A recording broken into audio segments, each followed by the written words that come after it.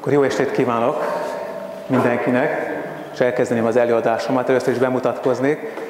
Német László vagyok, és amiről beszélni szeretnék, az, az már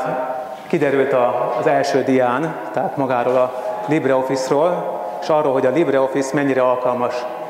kiadvány szerkesztésre, és egyáltalán, amikor kiadvány szerkesztésről beszélünk, akkor hogy jöhet szóba a LibreOffice, ami inkább egy, ugye egy dokumentum szerkesztőként, vagy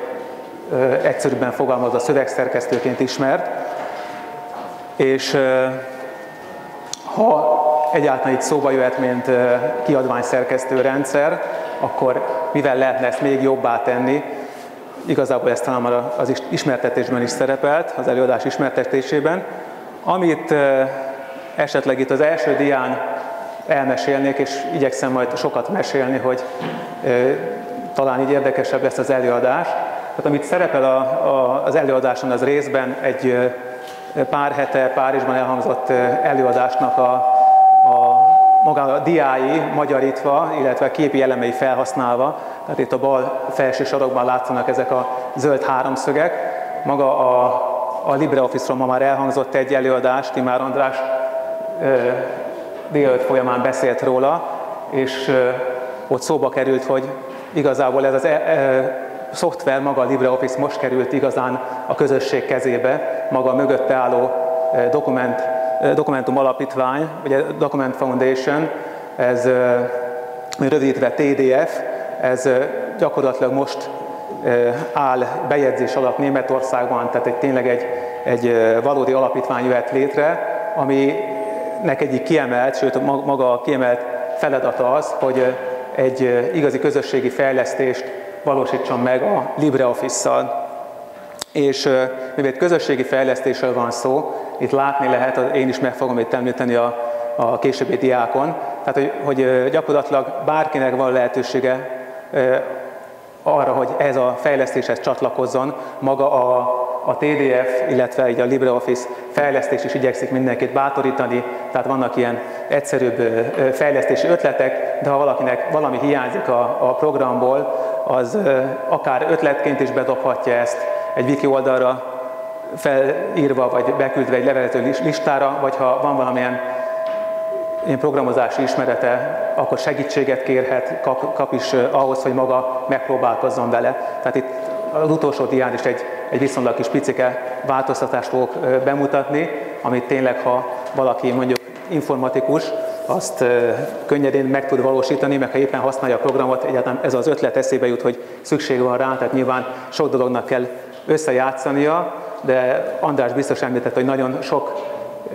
embernél, hiszen nagyon sok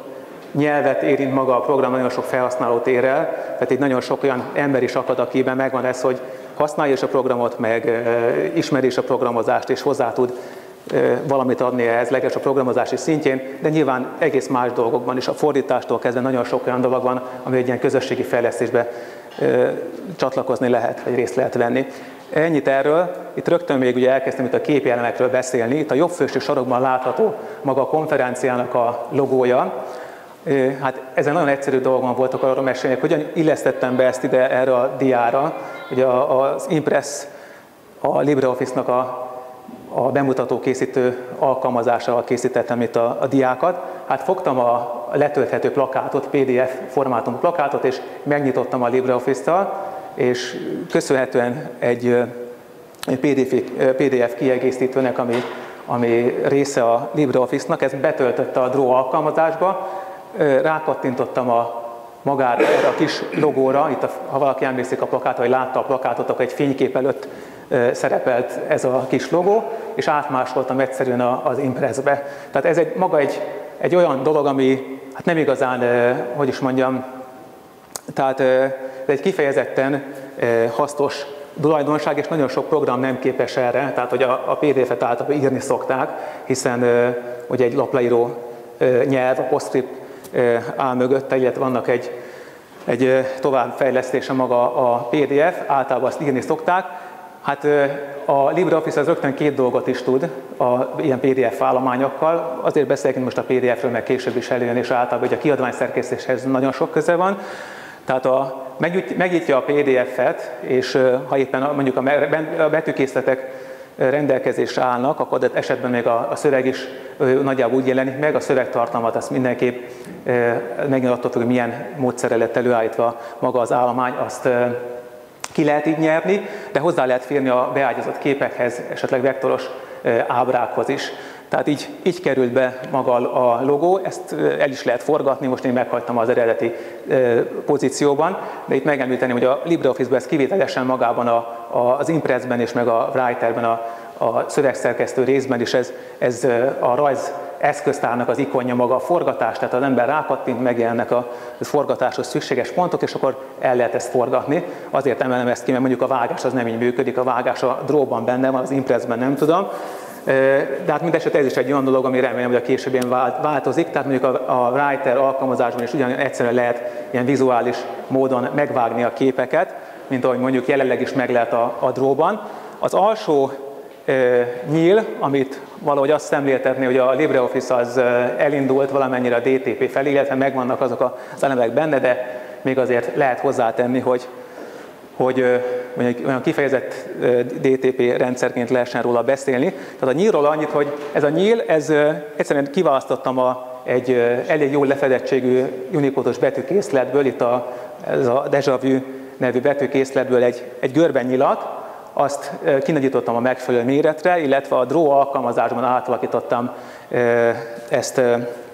görbévé. Ez azért alakítottam át, hogy utána egy kicsit összenyomjam, és a, a, a nyomott változatból csináljam a csípot bele, egy rátettem, egy-két téglalapot szintén ilyen vizuális módon elferdítve rátettem, mint hogyha egy ilyen út sávozás lenne, és kész is volt, ezt egybe is lehet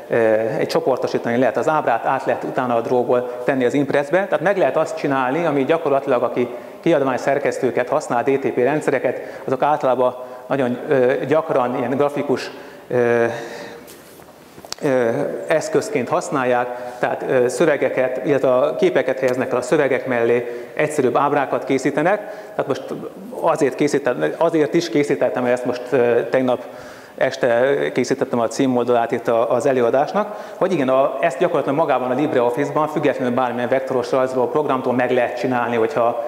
az ember nagyon akarja, és ahogy itt említettem, nem is olyan túlságosan elvadult módon, tehát hogy itt vizuális módszerekkel lehet ezzel foglalkozni, vagy ilyeneket alkalmazni. Magáról itt a DTP-ről, itt szerepel egy-két pont, hát igazából kicsit bőséges, nagyon sok a szöveg ahhoz képest, hogy igyekszem ezeket a, sok szöveget tartalmazó diákat átugorni. Bocsánat, itt leálltam a, a kamera elől. Tehát amit itt kiemelnék itt rögtön a, a, az első dián, tehát hogy a LibreOffice az nem áll egyedül, így a, általában a, a dokumentum szerkesztők közül, amiben kezdenek még inkább, eddig is megvoltak, de most még inkább megjelennek azok a, az elemek, amik kifejezetten a DTP programokra jellemzők. Mik, mik egyáltalán mit nevezünk DTP programnak? Ezek olyan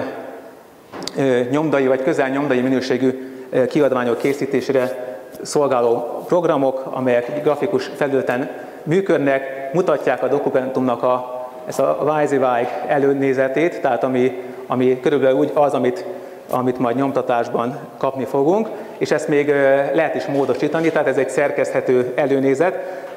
Ez annyiban érdekes ez a, a definíció, hogy egyre inkább megfelelnek ennek a mai dokumentum szerkesztők is, tehát ahogy mondjuk a nem tudom hányas Word változat az egyébként karakteres képernyő működött, ugye a Windows megjelenésével, most itt a, inkább a Windowsos részt emelem ki pont amiatt, mert a, általában a, Microsoft Office az, ami által így vetétársként, vagy legalábbis így versenytársként szerepel, hogyha LibreOffice-t emlegetjük, és akkor mindig alternatíváról beszélünk róla. Tehát a Word esetében is úgy, megfigyelhető, mint mondjuk az OpenOffice-ok, tehát a LibreOffice elődjének, vagy kódbázisának az esetében, hogy a grafikus képernyővel megjelent ez a WYSIWYG szerkesztési lehetőség, szépen fokozatosan, ugye rögtön ezzel mondjuk ott a különféle betűkészletek, vektoros betűkészleteknek a használati lehetősége. Szép lassan megjelent a, az is, hogy a betűkészletben meglévő ilyen egalizálási adatok, ugye ez, ez a kerning, így a, angolul, ezek felhasználásra kerültek a programban. Ez a talán a kettes, a OpenOffice-ról 2-től ez, ez, vagy a 2.4-től ez alapértelmezett, ez alapértelmezetté vált. A Word esetében talán csak választható, ezt, ezt igazából nem tudom pontosan, hogy, hogy igen, ott választható ez a lehetőség, és szépen sorban olyan dolgok is bejöttek, itt most például a Microsoft Office 2010 szerepel a dián kiemelve, ahol már ilyen opcionális OpenType tulajdonságok is elérhetők. Az OpenType az egy olyan betűkészlet szabvány, ami, ami lehetővé teszi, hogy ilyen fejlett tipográfiai lehetőségeket érjünk el. Gondolok itt például arra, hogy ligatúrákat lehet használni, vagy éppen ugráló számokat. Ezekre mutatok majd példát a későbbiek, mert ezt nem akarom itt most annyira részletezni. A LibreOffice esetében meg, ha nem is az OpenType, de a grafit betűtechnológia az, ami viszont itt a dián szerepel, hogy, hogy maga a Microsoft Office 2010-ben néhány OpenType tulajdonságot elérhetünk, tehát például a ligatúrákat bekapcsolhatjuk, vagy az ugráló számokat, de talán a szerepel itt, hogy a kiskapitálosok azok még nem érhetők el, de biztos, hogy ezen változtatnak majd. Ezt, ezeket már használhatjuk a LibreOffice-ban, és, és erre mutatni is fogok példákat. Amit itt Szeretném még mondani, hogy lesz egy követő kiadvány itt az előadáshoz kapcsolódóan, és abból bővebben, vagy hosszabban írtam jó pár olyan dologról, amit itt az előadásban szerepel. Tehát például szerepel ott egy, egy összehasonlító táblázat, ahol a LibreOffice a, itt a nyílt forráskódú Scribus DTP programmal, illetve a Microsoft Office-szal, vagy a kereskedelmi kiadvány szerkesztő programmal, az InDesign-nal, illetve itt főleg a műszaki egyetemisták számára nagyon is ismerős szövegszedő rendszerrel, a, a tech veti össze, vagy ezeket hasonlítja össze, úgyhogy ezt mindenkinek javaslom a figyelmébe majd, hogyha ez elérhető lesz ez a kiadvány, gondolom elektronikus formában is, így a, talán a Magyar Elektronikus Könyvtárban meg egy-két ilyen helyre bekerülnek ezek a kiadványok, úgyhogy ez elérhető lesz. Amit itt talán még itt legalul szerepel, hogy itt a rossz tipográfia néven megvan említve a Word Art, meg a Font Work. A Word Art az a, a Microsoft Office-nak, a Font Work az pedig a OpenOffice-nak, illetve a LibreOffice-nak egy ilyen betűtorzító alkalmazása. Így a betűtorzítás az egy ilyen tipográfiai hibának e, tekintik, úgyhogy ennek külön alkalmazása is van ezekben a dokumentum szerkesztőkben, hogyha valaki rossz tipográfiát szeretne megvalósítani, akkor ezzel könnyedén meg tudja. Emlékszünk a Fidesz plakátra, még azt nem tudom, hogy az, az volt a narancssárga betűkkel, és akkor ott az volt szépen elfektetve, de mondhatom a csillagok háborúját is, tehát ott is jól mutatott a, a szöveg, ahogy ment a végtelenbe, ilyeneket meg lehet valósítani, és attól függ, tehát talán itt nem tudom, fóliákon szerepel de magában ebben a követő kiadványos cikkben megemlítettem, hogy ez maga a tipográfia, az, ez egy alkalmazott művészet, iparművészet, tehát ha valakinek nincs ehhez érzéke, akkor mondjuk az inkább követel hibákat, vagy még a jó alkalmazásokat, a jó módszereket is lehet hibásan alkalmazni. Tehát olyan, ez beáll változik. Meg gyakran divattól is függ persze. Tehát igen, akkor ezen a dián, amit itt felsoroltam, Igazából az egy példát emelnék ki, itt a legalsót, hogy amint azt látjuk, hogy a, mondjuk a LibreOffice alkalmas arra, hogy hogy használják kiadvány szerkesztőként, akkor, már, akkor mondhatjuk már valamennyire, hogy lehet vele ilyesmit csinálni, és van is ilyen példa. Tehát itt szerepel egy, ez a PMG, ez a Professional Media Group, talán ez a, ennek a rövidítés egy belga cég, egy olyan 100 alkalmazottal dolgozik, 40 külsőssel, tehát nem is egy, egy ilyen, ilyen mikrovállalkozás, amelyek ilyen cégek közötti kiadványokat állítanak elő, amiben szakmai cikkek szerepelnek keveredve a reklámanyagokkal, és eredetileg az volt a terv, látva, hogy az ilyen kiadványokra van igény, tehát, tehát növekszik a cég, hogy ne vásároljanak meg minden kiadvány szerkesztéssel foglalkozó, gyakorlatilag a tördelést végzik, a képeket helyezik be a szöveget, tehát minden alkalmazott számára most külön egy akármilyen, mondjuk egy Quark, vagy egyéb ilyen programot. Egy, egy példát mondanák most, hogy már nagy, nagy az árverseny, vagy nem tudom, az InDesign most már 300 ezer forintért kapható Magyarországon. Tehát most 100 alkalmazott esetében az már egy súlyos összeg, és maga a feladat, hiszen nem, nem egy,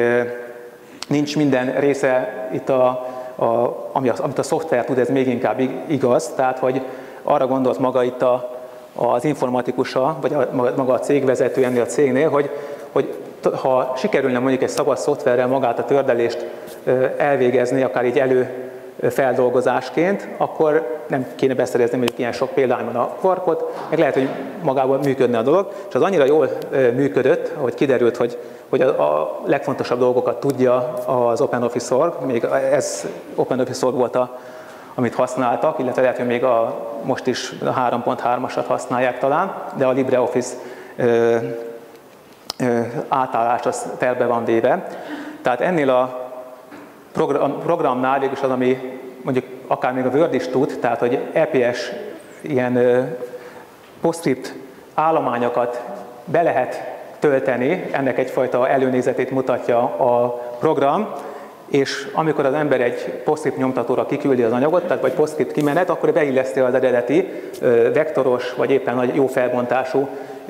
bittérképes képeket tartalmazó anyagokat, amelyeket mondjuk professzionális reklám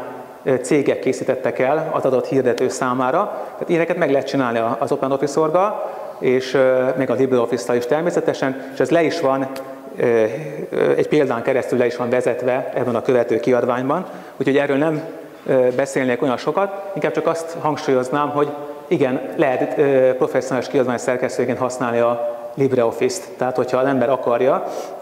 akkor tudja, megvannak benne ezek a lehetőségek. És ami, amit itt még kiemelnék, hogy a betű technológiája az meg olyan szintű gyakorlatilag, hogy nem csak a word szabad, sőt a word nem is szabad összevetni, hanem professzionális kiadványszerkesztőkkel kell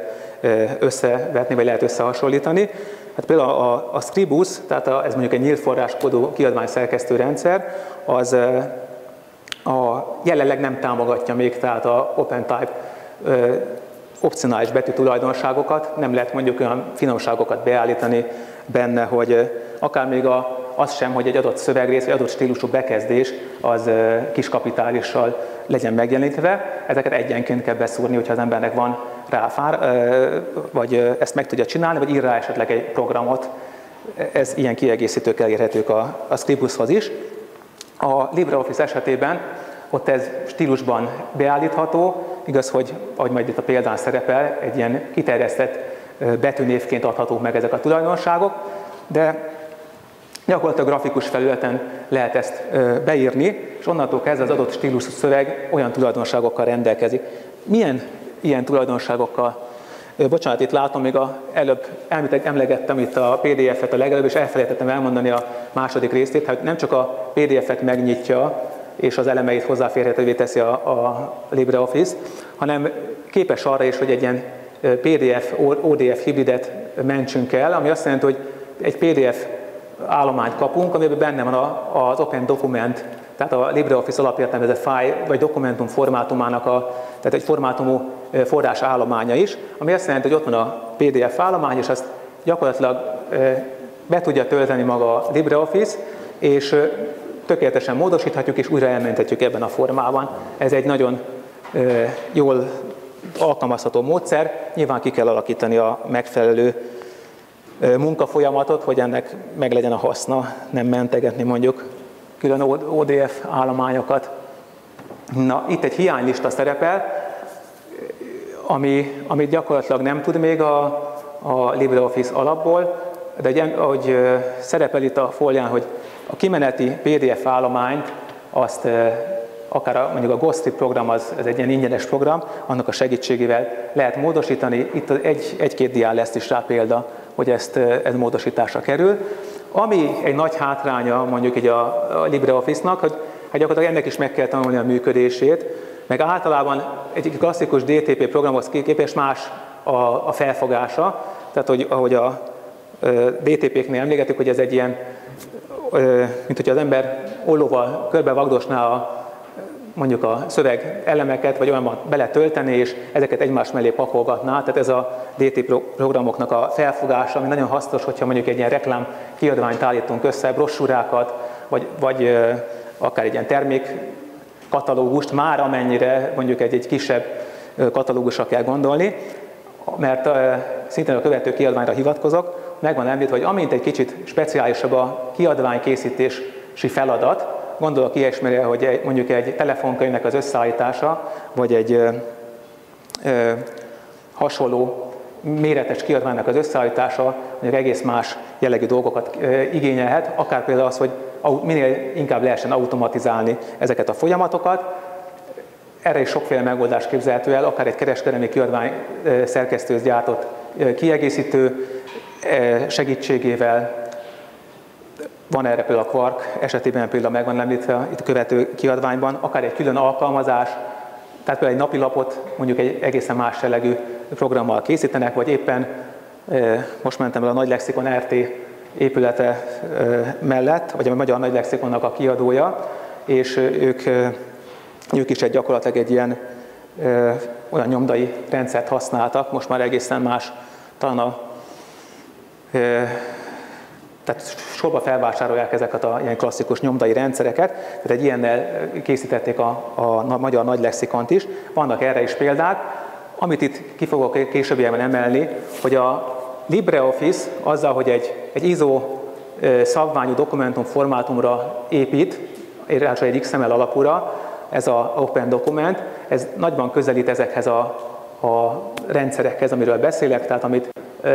arra készülnek, hogy lehessen automatizálni, vagy szétosztani a munkafolyamatot, tehát egy napi lap esetében mondjuk dolgozik ott akárhány szerkesztő, akárhány újságíró, és a munka valamennyire párhuzamosan folyik, és nyilván ezeknek, ezeknek gyorsan és hatékonyan kell előállnia. Általában a, amikor megjelentek ezek az asztali rendszerek, akkor nem jósoltak nekik nagy sikert, illetve valamennyire, akár már valamennyire digitalizált szakma is lenézte ezeket a rendszereket, hogy ezek nem sokat tudnak, és most itt a nagy, nagyobb nevekre is lehet gondolni, így a, az InDesign vagy a Quark, ezek is ilyen szerepkörben voltak, de aztán szép lassan nőnek fel a, a feladathoz, és amit itt én ki fogok emelni, hogy maga a LibreOffice is e, ebbe a társaságba szeretne bekerülni, és van egy-két olyan dolog, ami miatt joggal be is kerülhet. Itt látható egy, egy levél, amit tegnap előtt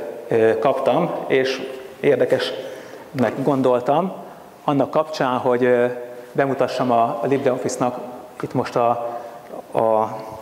betű technológiáját, illetve az erre vonatkozó lehetőségeit. Hát a levél az, ugye a tárgya az, hogy euró probléma, vagy gond, és a Ausztráliából érkezett a levél, és megemlíti itt viccesen, hogy nem csak az európai gazdaságban, hanem magában a LibreOffice-ban is probléma van az euróval, legalábbis itt a tipográfiai gondról van szó, és kiemeltem itt két részletet a levélből. Az első az egy betű nevet, egy ilyen bővített betű nevet ábrázol, amiben maga a, betűtípusa az elején, ez a Linux Liberty G szerepel, illetve különböző betű tulajdonságok, hasonlít egy kicsit a, a, az URL-hez, tehát hogy itt éppen a etjellel vannak elválasztva egymástól a, ezek a,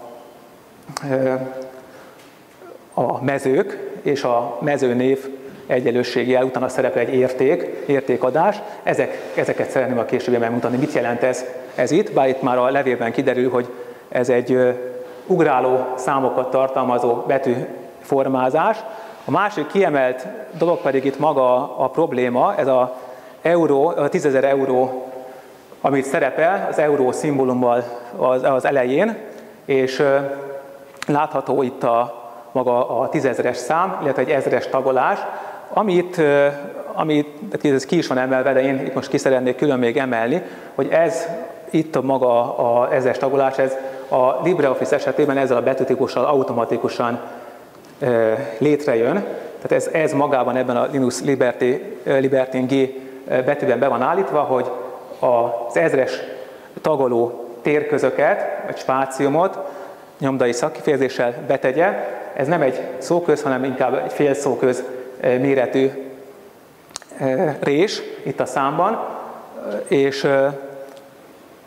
maga a levél meg arról szól, hogy ez nem működik, legalábbis a legújabb a LibreOffice-szal, amiben, amiben egy, a maga ez a grafit betűtott technológiának egy egészen egy új alapoktól újraírt változata található, azzal van valamennyi gond. Itt rögtön az elején mondom is, hogy ez a gond, ez szerencsére ideiglenesen javítható, tehát meg is írtam válaszként, hogy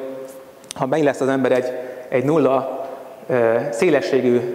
szó közt, mert ilyen is van a, a Unicode-ban, akkor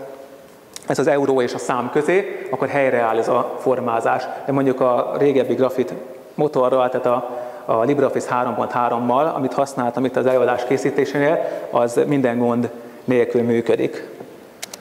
És akkor itt szerepelnének azok a példák, amit a, a levélben szereplő formázást így elemenként végig mutatnám. Az első, amit ki szerepel, ez a pénum, ez a tulajdonosságnak az azonosítója, ez a, proporcionális számoknak a rövidítése lenne, vagy igazából egalizált számok, ami azt jelenti, hogy a számokat úgy helyezzük el, hogy a számjegyek által elfoglalt hely függvényében közelítjük, távolítjuk, távolítjuk a számokat. Jobbra látható az egalizált, a legfőső a 2011-es példában látszik, hogy az e, egyesek azok keskeny számjegyek, és azokat egész közel lehet egymáshoz elhelyezni. Ez a szép, ez, a, ez lenne a normális, ez lenne az alapértelmezet jó esetben, ha az ember most így mondjuk belegondol, de nem ez az alapértelmezet egy rendszerben sem, tehát a dokumentum szerkesztőkben, meg a kiadvány szerkesztőkben sem. Tehát az alapértelmezet, ami balra látható, hogy ilyen óriási hézagok vannak a számjegyek között. Ennek az az oka, hogy általában a számjegyeket azt táblázatban használunk, tehát nagyon gyakran azt szeretnénk, hogyha ezek táblázatban szerepelnek, akkor a számjegyek egymás alá kerüljenek, és ezért ez a, ez a megoldás alakult ki. A fejlett betűtechnológia viszont azt is lehetővé teszi, hogy ha ezt nem szeretnénk, akkor erre át lehessen kapcsolni a jobb oldalon látható esetre. Ez a LibreOffice esetében ez úgy működik, hogyha, hogy beírja az ember a betűnév után egy kettős ponttal elválasztja azt, hogy pénum egyelő egy, tehát ilyen betű formázást hajt végre, és akkor a jobb oldalon látható, igazából eh, ahol nem táblázatban szerepelnek a számok, hanem mondjuk szövegen belül, akkor eh, ez az alkalmazandó, ez a tipográfiailag helyes eh, megoldás, vagy követendő megoldás, akkor, akkor fogjuk ezeket megkapni. A legalsó példa az a, a, igazából azt szemlélteti, hogy nem csak maga a számok jegyek által elfoglalt térköz, tehát itt mondjuk a 2011 alá ezres látszik, hogy a számjegyek egymás alatt vannak. Tehát ez a, a végülis az előnye annak, hogyha számjegyek egyenletes távolságra vannak egymástól.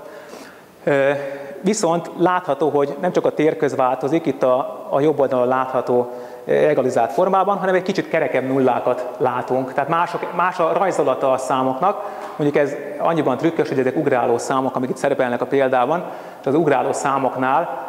eleve egy, egy körhöz hasonlít a nulla, a maga az ugráló számok azok a régebbiek, tehát a középkori e, jellemző számokat látjuk, és ez itt az ugráló számoknál, hogyha beállítjuk a pénum betűtulajdonosságot, azzal jár, hogy maga a számok jegyeknek az alakja is megváltozik a szebb formára. Itt látható az onum vagy old uh, numbers néven szereplő betűtulajdonság, ami a, a, ugye az ugráló számok jelennek meg, hogyha beállítjuk ezt a betűtulajdonságot jobbra látható, és uh, gyakorlatilag uh, ez újra erősen divatba jött, nagyon sok weboldalt látunk, ahol ez az alapértelmezet, és amit a weboldalakat emlegettem, vagy magát a, a web gyakorlatilag a CSS szabványnak a része már, hogy ilyen fejlett betű tulajdonságokat be lehet állítani. Érdekességképp mondanám el, hogy ez jelenleg, legalábbis a, a Mozilla esetében, a Firefox esetében folyamatban van a grafit támogatásnak a hozzáadása. Volt már korábban is példa, tehát volt olyan Mozilla Folt, amivel be lehetett ezt állítani, de most, most újra próbálkoznak vele, úgyhogy várható, hogy mondjuk a maga grafit betű technológia is akár így a Firefoxon keresztül még szélesebb körben elérhető legyen, nem csak a LibreOffice révén, vagy az OpenOffice.org révén. Itt látható legalul, hogy alapértelmezett és ugráló számok. Látható, hogy az ugráló számoknak a lényege az, hogy a kisbetűk szintjébe kerüljenek a számjegyek, valamivel olvashatóbb formája legyen a számoknak, vagy leges jobban belesimoljon, ne lógjon ki annyira, mint mondjuk egy nagybetűs szöveg, vagy a, nem ugráló számok a szövegből. Aztán a következő tulajdonság, ami szerepel itt a levélben, amit itt végignézek, ez a ITLC, vagy kurzív korrekció. Hát a két ábrát kell csak összehasonlítani. Itt szerepel egy mű,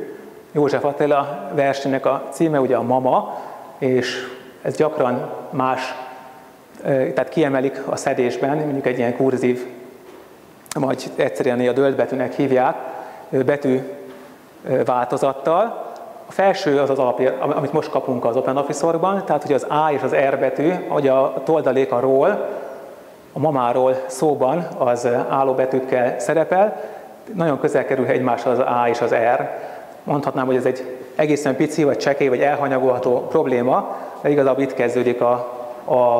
az a szint, amire azt mondjuk, hogy megkülönböztet egy minőségi kiadványt, mondjuk egy ilyen gyorsan összedobott kiadványtól, hogy ilyen finomságokra ügyel, hogy hogy meglegyen a, a korrekció. Például, hogyha kijelöljük a, itt a mama, vagy a mamá egy szót, és beállítjuk ezt a ITLC egyelő kettő tulajdonságot, hogy igazából ezt az egész dokumentumra be lehet állítani, mármint, hogy úgy értem, hogy, hogy ezt jelenleg még nem, tehát maga most itt pillanatra, bocsánat, elgondolkodtam, hogy mennyire lehet ezt nyilván mondom, hogy hogyan érdemes beállítani, akkor látható, hogy egy térköz az nagyobb lesz. Tehát a kurzív szöveg végén egy kicsit nagyobb térköz tesz, amivel tényleg látható, hogy arányosabban helyezkednek el ezek a, a betűk. És akkor hogyan érdemes ezt használni? Stílusokhoz kötve. Itt majd szerepel egy példa arra, hogy gyakorlatilag a, itt karakter stílusban, tehát szerepel is alapértelmezetként ilyen e, karakter stílus, hogy hangsúlyozás, illetve erős hangsúlyozás, ezek a LibreOffice alapértelmezett karakter stílusai között szerepel két ilyen, és ha ezekbe beállítjuk ezt az ITLC egyelő kettő tulajdonságot, onnantól kezdve a, ki akarunk valamit emelni a szövegben, kijelölünk mondjuk egy címet, rákattintunk a stílusok és formázás ablakon belül, így a karakter stílusok lapon a hangsúlyozás stílusra, onnantól kezdve nem csak kurzív lesz a szöveg, hanem ez a kurzív korrekciós alkalmazva lesz, tehát már is egy nagyobb térközt kapunk. És ez elég gyakran fordul elő ez a probléma. Tehát az ember nézi, hogy most, most akkor máshogy ö, tegye idézőjelbe például, mert nem, nem szépen néz ki, hogyha összelógnak, vagy akár egymást takarják a betűk. A következő tulajdonság ez a para, ami itt a zárójeles alternatíva rövidítése akar lenni. Ez azt csinálja, hogy szintén csak kurzív betű változat esetén van hatása, működik, hogy a zárójelezést, a sima zárójeleket, itt a, vagy a szögletes zárójeleket, a csipkét zárójeleket álló változatra cseréli. Miért? Ugye miért csinálja ezt? Hát ennek vannak nyomdai, nyom, nyomdászat esetében történeti hagyományai is, tehát ez egyfajta, egyfajta hagyomány, meg itt, ami a példában szerepel, maga ez a, ugye ez a szik szó, ami arra utal, hogy ez szó szerint így szerepelt a szövegben, tehát egy idézetben például, ez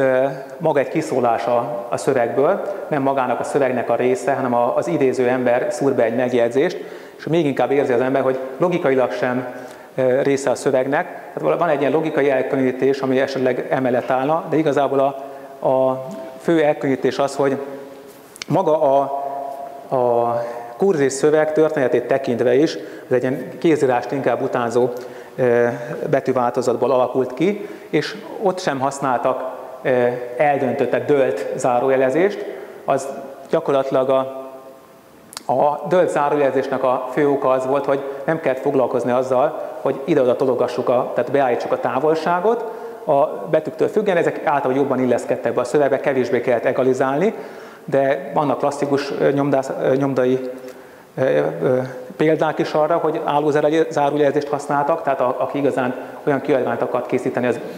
maga vállalva a plusz munkát, de ezeket használta, és van egy-két olyan kiadvány, így, ami gyakorlatilag ilyen nyom, tipográfiai bibliaként hivatkoznak rá, és tehát elő, ki is emelik, hogy használjuk ezt. Tehát van ennek a mai ö, ö, szerepe is van, tehát mai szakkönyvek is mondják azt, hogy használjuk az álló zárójelezést. Ez például benne van a LibreOffice-ban alapból. Nem tudom, hogy hány DTP rendszer kereskedelmi támogatja ezt alapból, tehát félő, hogy nagyon kevés, meg nyilván betűkészlettől függ, mert ez ott szerepel beállítása, de a LibreOffice-nak az alapértelmezett betűkészlet ezt tudja. Tehát benne van ez a lehetőség. Aztán itt, ami szerepel, ez a CPSP névvel jelölt betű tulajdonság, ez, ez a nagybetűs térközök, ami azt jelenti, hogy az alapértelmezethez képest egy kicsit azért lehet itt kiemelve a távolság, tehát külön bekarikázva itt a felső példában, össze lehet venni, vetni az alatta lévővel, hát nagyon kis különbséget látni, de igazából az az érdekes, ez a kis különbség az, ami nyom, nyomdai méretben, mondjuk egy 12 pontos betűben, még a, a szem észrevesz, tehát látja a különbséget, és míg az egyik mondjuk összeolvadnának a betűk, vagy kb. úgy látja az ember, hogy összeér, ezzel a kis pici különbséggel a maga szöveg is nem csak egy picit szellősebb lesz, hanem olvashatóbb is. Ez csupa nagybetűs szövegre vonatkozik, tehát itt a példában is ez szerepel. Az a baj, hogy sajnos ez nem jön ki egy ilyen bemutatón, tehát egy ilyen megjelenítő eszköznek a, a, a felbontása az e, még ilyen méretben sem adja ki vissza mondjuk egy nyomdai, egy nyomtatásnak a, a minőségét. Tehát ez általában itt az összes példára vonatkozik, hogy, hogy ez kb. olyan, mint amit nyom, nyomtatásban kapnánk, de nem teljesen, tehát itt mondjuk lehet, hogy ennél betű, betűnél nem, hát de talán látszik, hogy mondjuk a talpnak van egy kis pici íve, tehát itt a, az A, nagy A, nagy R, vagy az Y betűknek a talpánál az alja egy kicsit behorpad, hát itt nagyon nem látszik. Mondjuk lesz szó arról, hogy van egy olyan betűváltozata, vagy lesz a következő LibreOffice változatnak, akkor ez még inkább látható. Az utolsó példában szereplő tulajdonság, ez a LIC, hát ez érdekes módon azt befolyásolja, hogy a, az FI ligatúra, ha önmagában fordul elő, mert például elválasztunk egy szót, az kikapcsolásra kerüljön pontosan, legyen lecserélve egy F és I betűre, és ott is egy, az F-nek egy ilyen keskenyebb változatára, hogy ne legyen azért túl messze az F és az I betű. És szóba került itt már említettem a ligatúrákat, olyan nyomdai jelek, amelyek helyettesítenek általában több betűt, azért, hogy azokat a megfelelő távolságra lehessen elhelyezni, általában közelíteni lehessen ezeket. Itt látható, hogy az F ligatúra az gyakorlatilag a, össze van nőve az F-nek a, így a, ez a kereszt vonal az innek a, az I betűvel, és az I betűnek a pontja is hiányzik, illetve az F betűnek a meghosszabbított felső része alkotja ezt a pontot. Ez ma is élő nyomdai hagyomány az ilyen jeleknek a használata, de hogyha az embernek nem hívják fel a figyelmét rá, akkor mondjuk egész életében nem fogja észrevenni, hogy ez szerepel a szövegben az F és az I betűk helyén, de ha keresi az ember, vagy leges tudja, hogy van ilyen, akkor, akkor fel fog neki tűnni, hogy esetleg valamit rosszul csinálok ezzel. De, de, de észre, tehát általában az, az van, hogy a távolság jó, a, mondjuk a dokumentum szerkesztők betű i esetében csak éppen összelógnak. Tehát a tipikus példa a Times New Roman, ahol az F és a F betű, meg az I betűnek a pontja az, az egymást fedi, vagy összeér. Tehát ez egy automatikus dolog, amit kihangsúlyoznák, a betűkészlet tudja alapból, ha elválasztja a szöveg, akkor ez jelenik meg. Nagyon gyakori, az ember nem gondolná, de nagyon gyakori az ilyen elválasztás a magyar szövegekben, tehát hogy megjelenik önmagában egy ligatúra, ez egy nyomdai hiba, tehát tipográfiai hibának számít, de a mai rendszerek nem támogatják, legalábbis akár újságokat néz meg az ember, napilapokat, könyveket, azok ilyen hibásan kerülnek be, tehát nyomdai hibával a szövegbe. A grafitról igazából annyit emelnék ki, hogy ez egy, egy teljes értékű egy fejlett betűtechnológia, egzotikus nyelvekhez fejlesztették ki, tehát olyan dolgokat lehet benne megcsinálni, amit mással nem igen. Ezt, amit kiemel itt maga a dia, hogy ez egyrészt nyílt ez a szabvány, szemben például az Apple-nek ez az AT betű technológiájával. Az OpenType-szal szemben is van előnye, az OpenType az egy nyílt szabvány, de maga a a, van olyan motor, ami ezt képes megérteni, ugye mondom, hogy a böngészők is már kezdik ezt ismerni, már nem százszázalékosan. Azért sem száz... Elnézést. Azért sem százszázalékosan. Nagyon sok OpenType tulajdonság van. Ezeket szabványosította a Microsoft és az Adobe cég, ez a kettő áll az OpenType mögött. Viszont ezek olyan tulajdonságok, hogy le van írva neve, meg az, hogy mondjuk ez a, a táj nyelvnek, táj írásnak valamilyen dolgait állítja be, és vagy nincs kellően részletezve, vagy nem tudja az ember, mert ezt maga, nem maga a betűkészlet szintjén ezt beállítva, hanem a, a motor, ami ezt értelmezi, abban készítettek egy táj ö, kiegészítőt, ami azt tudja, meg tudja azt csinálni. Vagy mondok egy olyan példát, ami nem nyelvfüggő, a, van egy OpenType tulajdonsága, net, vagy matematikai tulajdonság, ami megjelent, hogy van egy ilyen, sőt, lehet, hogy hivatalosan vagy nem került ez szóba, vagy nem lett részletezve, de esetleg vissza kellett fejteni, tehát amikor ugye a matematikai szerű rendszerről volt szó a techről, tehát a, a tech elment egy olyan irányba, hogy OpenType betűkészleteket tud használni, akkor felmerült, hogy hoppá, jó volna, hogyha amit a Microsoft kidolgozott és nem dokumentált, azt azok a, van egy-két ilyen betűkészlet, azoknak a, a tulajdonságait tudja ezt használni, visszafejtették, készítettek ilyen szabad betűkészletet, ami ezt tudja használni. Ehhez képest a grafit az teljesen nyílt, és maga az ilyen speciális dolgok, mondja a tájírásnak a specialitásai, az magában a betűkészletben kerül tárolásra, amit egy, egy ilyen GDL, vagy ö, ez a Graphic Description Language révén leírt ö, dolgok, azok lefordítás után egy, egy ilyen, op, egy ilyen ö, TrueType táblázatként kerül be a szövegbe, és egy általános grafit motor végre tudja hajtani azokat a dolgokat, nem kell hozzá külön speciálisan a tájnyelvre felkészíteni, de ráadásul maga ez a motor ez készen is áll. Igaz, most azt itt kérték, hogy emeljem ki, hogy a, a Macintosh változata a LibreOffice-nak, vagy OpenOffice-ornak az, az nem, a, nem használja a grafitot, hanem alapból a, a Apple-nek a saját megoldásait használja többé-kevésbé, tehát beállításokra nem, azt hiszem, nem nyújt lehetőséget, de a ligetúrákat beállítja. A, a, az Apple az használja az AT-t, meg illetve az OpenType-ot elkezdte megvalósítani, tehát ők náluk ilyen, ilyen hibrid megoldások is vannak. Ö, átugrok itt sok mindent, és csak az érdekesebbeket fogom itt kiemelni. A, magáról a betűkről, ezek a betűk, amik ilyen fejlett betűkészletek, itt több dia szerepel. Ezekből mutattam egy-két példát, amit ki szeretnék még emelni, hogy mivel magyar fejlesztés részben ez, maga itt a LibreOffice-ban ezek a betűkészletek, megvan rá a lehetőség, hogy olyan dolgokat is hozzáadjunk, amit kereskedelmi kiadvány szerkesztő rendszerek sem. Tehát itt, amit ki lehet emelni, hogy olyan kurzív ligatúrák kerültek be, amik nagyon gyakoriak, a magyar nyelven szükségesek is, megvan rá még a, így a fényszedés esetén is, nem csak még régebbi ólomszedés esetén, tehát hogy használnak ilyen betűket, amire itt, amit itt a példákban szerepel, mondjuk, hogy egy GF betű kerül egymás mellé, akkor nem egy nagy rést hagyva közöttük, vagy egymást fedve helyezzük ezeket a jeleket egymás mellé, hanem maga a betűkészlet betesz egy olyan F betűvariánst, amelyek egy szára kicsit lejjebb lóg, mint a G betű, és így a megfelelő távolságra van a két betű egymástól, tehát közelítve van, megfelelően egalizált, vagy az alávágása jó, és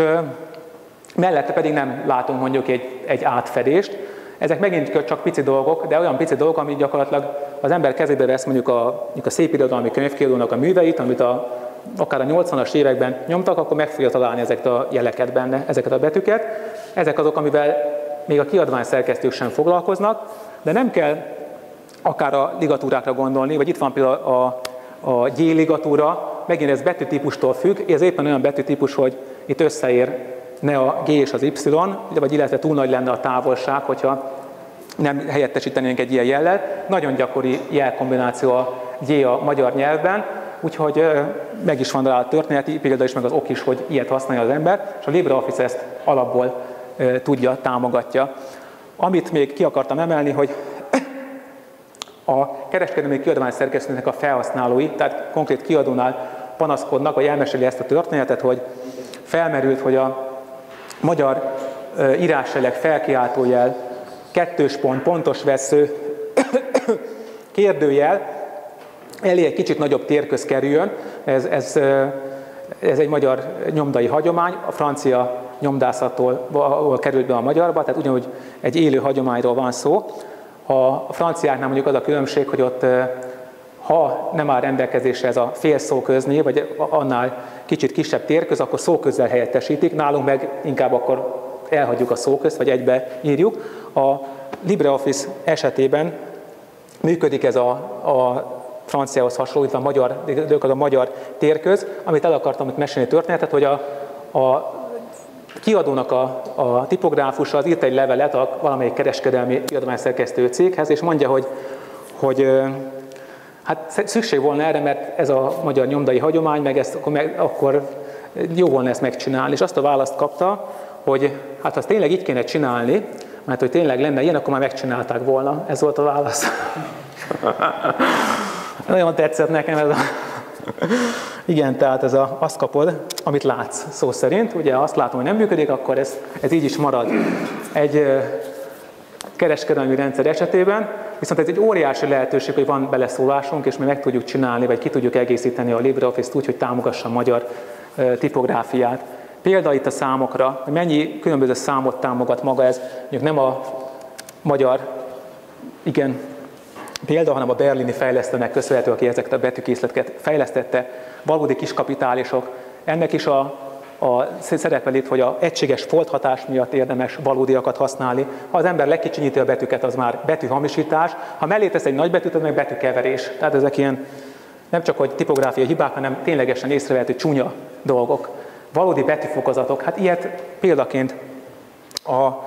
mondjuk akár a Adobe InDesign esetében sem kap az ember, megvan a támogatás úgy, hogy az ember fizet és megvásárol még külön drága betűkészleteket hozzá. LibreOffice következő változata ezt tudni fogja, tehát álló betűkből rendelkezésre fog állni, mindegy ilyen 16 pontoshoz betűmérethez, vagy egy nagyobbhoz tervezett ilyen display néven, ez az, az InDesign-nak a, a nevezéktana, tehát hogy displaynek nevezi az ilyen nagyobb betűket, és uh, captionnek nevezi a kis betűket, tehát ezeket lehet használni. Itt egy összehasonlítás, hogy ez ugyanaz a betű típus, csak más a betűfokozat, más betűváltozat. Itt egy példa szerepel, ami a jegyzetben is megvan, illetve a követő kiadványban is meg lesz említve. Itt nem pont a lényeg nem látszik, tehát hogy, illetve itt látszik az idézőjelen a, a, itt a Marx előtt, hogy egy kicsit kijebb lóg ez az idézőjel, ez a optikai margó arról szól, hogy kilógatjuk egy kicsit az írásjeleket, és akkor az ilyen írásjelek által mondjuk egy automatikusan beszúrt kötőjel olyan, hogy az egy üres térköznek látszik, de egy kicsit kijebb nem teljesen a hasából, akkor töm, a tömbből, akkor úgy látjuk, szebbnek látjuk magát a tömböt. A összeolvadó diakritikus jelek, ez még a magyar fonológiai leíráshoz, egy egységesített szabványhoz is szükséges, és már kért, többen kérték már ezt a tulajdonságot, ez is működik. Tehát a megfelelő módon kerülnek egymás mellé a jelek. Mondjuk a G betű alá lejjebb kell eltenni a jelet, hogyha ezt egy Unicode kódolással bevisszük a ékezeteket, a megfelelő helyre fogja eltenni, megfelelő változatban, nagybetű közé kicsit másmilyen van. Aztán itt arról lenne szó, hogy javítani kéne mondjuk egy-két hibát. A, a lényeg az, hogy hogy van rá, tehát úgy néz ki, hogy van rá itt sok visszajelzés, hogy, hogy ezt a fejlesztők egyre inkább komolyabban veszik. Maga a szabványosítás terén is remélhető, az Open Documentben bekerülnek ennek a lehetőségei. Várható, hogy lesz egy, egy vizuálisabb, tehát nagy kényelmesebb beállítási lehetőséget nyújtó felület ezekhez az extra betű tulajdonságokhoz. Az OpenType támogatást meg lehetne úgy valósítani, hogy a grafit motort használja az ember, és futásidőben fordítja le az OpenType táblákat, a TrueType vagy éppen PostScript Type 1-es betűkészletekhez mellékelt tábláknak a információit. Itt a PDF utófeldolgozásról van szó, ennek, ezeket a diákat ezt szabad, közé teszem inkább. Most azt próbálom kiemelni, ami érdekes, mert lejárt az idő, és egy-két példa, egy konkrét kiadvány, ami ezekkel a betűkkel készült, az említett Ausztrál levél szerzője, aki kottákat illesz be és OpenOffice-olgal készíti el a, kép, a könyvet, magát a jegyzetet. Ahogy szóba került, ha megvan a elkészített kotta egy egy ilyen EPS formátumban, tehát a PostScriptnek egy ilyen kisebb ilyen betokozott formátum, ami egy adott méretben, alapméretben jelenik meg, ez betöltve a LibreOffice-ban át lehet méretezni, megjelenik az előnézete, beállítja az ember a professzionális kotta szerkesztő programnak a kimeneteként, tehát betölti a kottát, beállítja a méretet, hogyha éppen alapból nem jó, mondjuk ott betűk is vannak, tehát jó, hogyha alapból a, a, beállítja a méretet, és utána beírja a szöveget magában mondjuk ezzel a Linux Libertin G betűkészlettel, és utána egy pozitív nyomtatást választva előáll a kiadvány, mint ebben az esetben. Sajnos kottákat nem mellékeltem, majd hogy kotta képeket rakott, de ez így néz ki maga a könyv, hogy, hogy ott szerepelnek a kották. Ez a jegyzet lehet, hogy ismerős többeknek, amit itt kiemeltem később, hogy gyakorlatilag a LibreOffice olyan keret elhelyezéseket tud, mint a professzionális DTP programok. Tehát itt látható, hogy maga a kép mellett a jobb felső sarkában ott szerepel a kép szerzője, ez egy külön keret, magában a, a kisebb ö, ö, kereten belül még képeket látunk, egy több hasábos szöveget, amit felmerült gyakorlatilag többekben ezután, hogy ezen lehetne sokat javítani, tehát a, a, a kezelésén. Az alaptulajdonságok azok keretek összetűzése például megvan, egy SVG ábráknak a feldolgozására, meg a Linux Libertin új nagy betűfokozatához készült egy ilyen bemutató oldal, aztán